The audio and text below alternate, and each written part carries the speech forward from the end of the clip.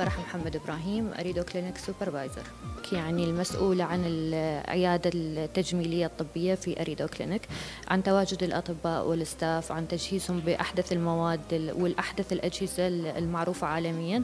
حتى نواكب التطور العلمي الموجود بالعالم ونلبي رغبات الزبائن. إحنا يعني آه، كأهل نحبذ فكرة بأنه المرأة دائما تكون جميلة ونشجع هذا الشيء فما واجهت أي صعوبات.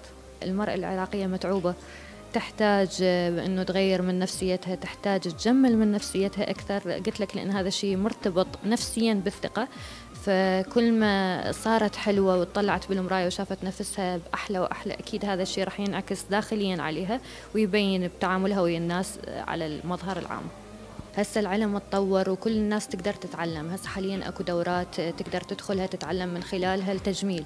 آه، يبقى حصريا أكيد الحقن البوتوكس الفيلر الخيوط العمليات هاي لازم اختصاص طبيب آه، اللي يكون هو آه، بهذا المجال سواء جلدية أو تجميل. يبقى البنات الباقيات الخريجات أو المهندسات أو ربات البيوت يقدرون يدخلون كورسات اللي هي تعليم كيفية سحب الدم أو تعليم كيفية حقن البلازما. هاي الأشياء اللي تكون سطحية الميزوثيرابي سطحية ما بها تداخل آه، عميق مثل اللي يستخدموه الأطباء كالبوتوكس والفيلر. طبعا أكيد كل امرأة تواجه بداية حياتها بخصوصا بالمجال التجميلي ونظرا لمجتمعنا العراقي بأنه يرفض بأنه المرأة تتجمل.